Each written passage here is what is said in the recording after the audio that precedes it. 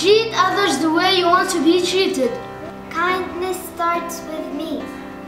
Different religions meet the needs of different people. We may have different religions, different languages, different color skin, but we all belong in one human race. Be kind and respectful. We are all different and that's beautiful. All the love in the world.